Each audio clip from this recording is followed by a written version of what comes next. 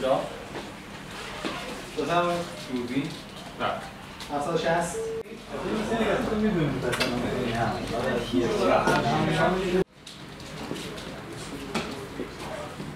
تجربه هستم.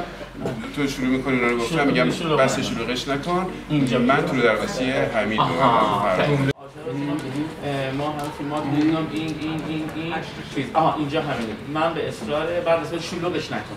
من به اصرار فرخ نژاد اومدم اینجا. آره. خوشحالم که اومدم. تو تا حالا فیلم کار کردی؟ من من تونتر میام که معلوم بله. بشه که دنبال بچه شما. با سرعتی که داشتیم هم سعی نکردیم هیچی بزنیم. دو دخترا بزنید نه می‌تونم. من حواسم به افشین باشه اونا منو نگاه کنن